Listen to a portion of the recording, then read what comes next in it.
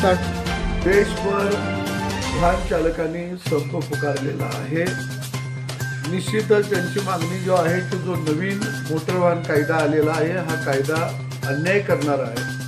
आणि मला वाटतं की कायदा बनवणाऱ्यांनी थोडंसं डोकं ठिकाण्यावर ठेवून कायदा बनवायला पाहिजे. देशातील वाहनधारक ट्रक चालक हे संपावरती गेलेले आहेत. केंद्र सरकारनं जो नवीन मोटर वाहन कायदा आणलेला आहे. हा कायदा अन्याय करणार आहे अशी भूमिका या सर्व ट्रक चालकांची आहे. नवीन कायद्यामध्ये अपघात घडल्यानंतर सात वर्षाची शिक्षा सात लाख दंड अशी तरतूद केलेली आहे. मुळामध्ये एखादा अपघात झाला आणि अपघात झालेल्या व्यक्तीला मदत करायला जर ट्रकवाला त्या ठिकाणी सामोरे गेला आणि जर मॉब असला तर त्या मॉबमध्ये त्याच्या जीविकेला धोका निर्माण होत असतो. जीवा जीव वाचावा म्हणून अनेक वेळा ट्रक चालक अपघात झाल्यानंतर पळून जात असतात. मला वाटतं की सरकारनं या कायद्यामध्ये तातडीनं दुरुस्ती करावी.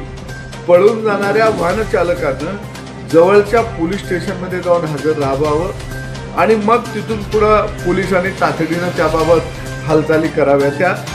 जर तो पोलीस स्टेशनमध्ये जाऊन हजर नाही राहिला तर त्याच्यावरती सजेची आणि दंडाची शिक्षेची तरतूद त्या कायद्यामध्ये करावी.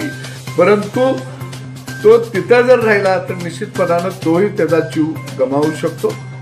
आणि म्हणून मला वाटतं त्याच्यामध्ये दोन पर्याय करणं गरजेचं आहे. अपघात झाल्यानंतर जर जमाव नसेल तर वाहन चालकानं तातडीनं जवळच्या पोलीस स्टेशनला फोन करावा किंवा त्या पोलीस स्टेशनमध्ये हजर व्हावं.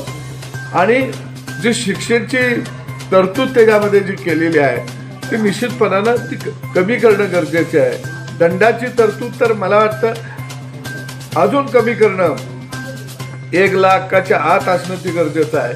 कारण ट्रक चालक हा पंधरा वीस हजाराचा नोकरदार आहे तो एवढी मोठी रक्कम निश्चितपणानं देऊ शकत नाही. कायदा बनवताना निश्चितपणानं ज्यांच्यावर हा कायदा आपण लादणार आहे ज्यांच्यावर या कायद्याची आपण अंमलबजावणी करणार आहे अशा माणसांना विश्वासात घेऊन जर कायदे बनवले तर निश्चितपणानं जनतेच्या मनामध्ये रोष तयार होत नाही.